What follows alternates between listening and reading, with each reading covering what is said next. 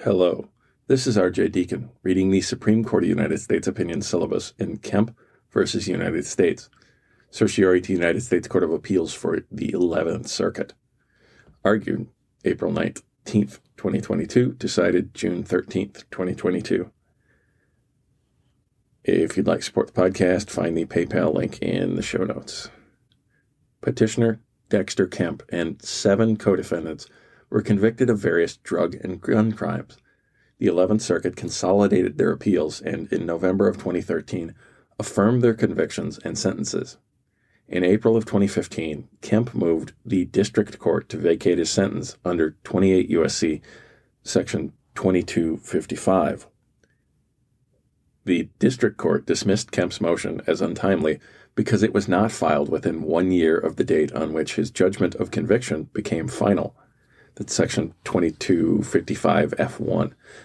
Kemp did not appeal. Then, in June of 2018, Kemp sought to reopen his section 2255 proceedings under Federal Rule of Civil Procedure 60B, which authorizes a court to reopen a final judgment under certain enumerated circumstances. As relevant here, a party may seek relief within one year under Rule 60B1 based on mistake, inadvertence, surprise, or excusable neglect. A party may also seek relief within a reasonable time under Rule 60B6 for any other reason that justifies relief. But relief under Rule 60B6 is available only when the other grounds for relief specified in the rules 60B1 through 5 are inapplicable. Kemp's motion to reopen his Section 2255 proceedings invoked Rule 60b6. But his motion sought reopening based on mistake covered by Rule 60b1. Specifically, Kemp argued that the one year limitations period on his 2255 motion did not begin to run until his co defendants' rehearing petitions were denied in May of 2014 making his April 2015 motion timely.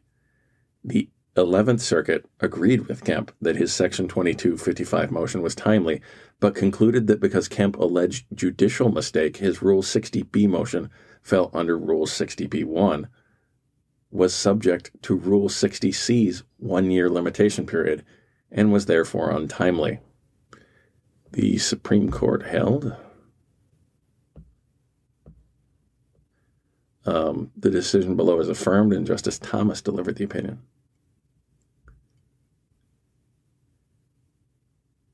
The term mistake in Rule 60b1 includes a judge's errors of law. Because Kemp's motion alleged such a legal error, it was cognizable under Rule 60b1 and, and untimely under Rule 60c's one year limitation period.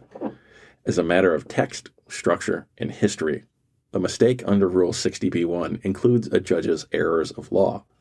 When the rule was adopted in 1938 and revised in 1946, the word mistake applied to any misconception, misunderstanding, or fault in opinion or judgment. That's um, Webster's New International Dictionary, 1383. Likewise, in its dictionary 1195, uh, sorry, Black's Law Dictionary uh, 1195.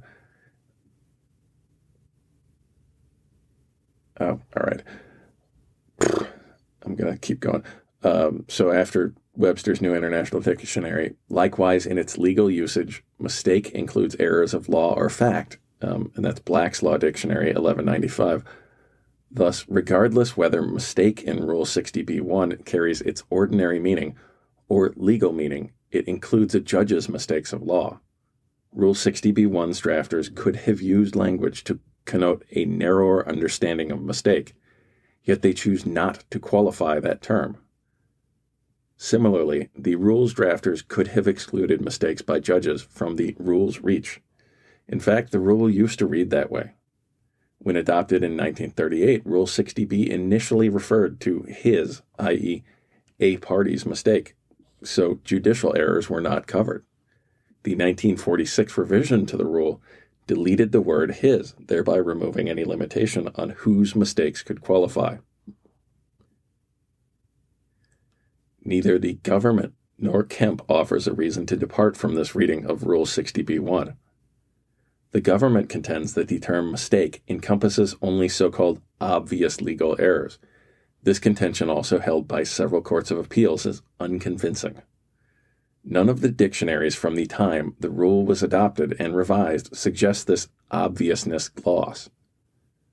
Nor does the text or history of the rule of Rule 60b1 limit its reach only to flagrant cases that would have historically been corrected by courts sitting in equity.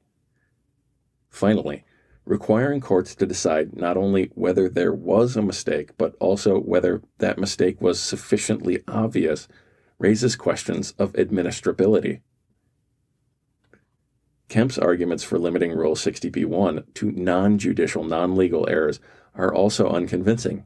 He claims that Rule 60b1's other grounds for relief, um, that is, inadvertence, surprise, and excusable neglect, involve exclusively non legal, non judicial errors, and thus mistake should be similarly limited. But courts have found that excusable neglect may involve legal error. See, for example, Langahan versus PepsiCo.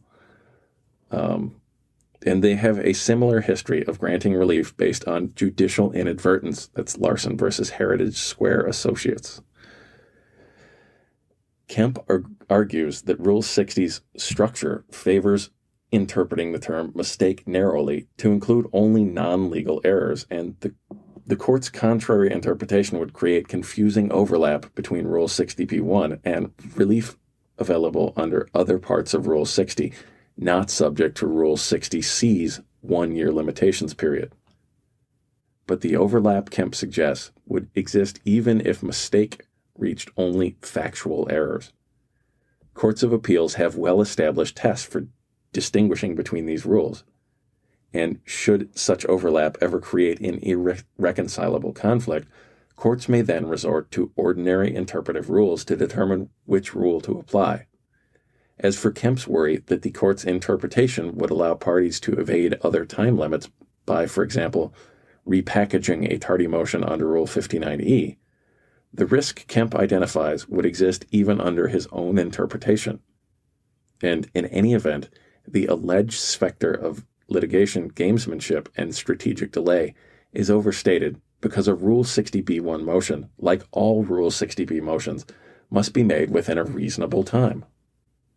Finally, Kemp protests that this court's reading is inconsistent with the history of Rule 60b but his argument is based on the mistaken notions that Rule 60b1's list of grounds for reopening was understood to be a term of art when adopted, and that Rule 60b6 alone was intended to afford relief for judicial legal errors that had previously been remedied by bills of review. The decision below is affirmed, and Justice Thomas delivered the opinion of the court, in which Chief Justice Roberts and Justices Breyer, Alito, Sotomayor, Kagan, Kavanaugh, and Barrett joined. Justice Sotomayor filed a concurring opinion, and Justice Gorsuch filed a dissenting opinion.